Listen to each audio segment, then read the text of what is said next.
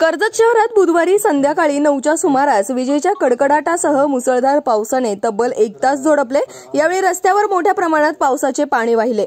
तर सखल भागास तलावाचे स्वरूप आले होते. बुधवारी पावसाची टक्केवारी अशी की कर्जतमध्ये चौऱ्याहत्तर मिलीमीटर पाऊस राशीनमध्ये दोन मिलीमीटर माहीमध्ये पंचावन्न मिलीमीटर मिरजगावमध्ये अकरा मिलीमीटर कोंबळीमध्ये सोळा मिलीमीटर आणि भांबोरामध्ये अठ्ठावन्न मिलीमीटर पावसाची नोंद झाली असल्याची माहिती तहसीलदार नानासाहेब आगळे यांनी दिली आहे. राष्ट्र सह्याद्री न्यूजसाठी प्रतिनिधी अफरोज खान पठाण कर्जत.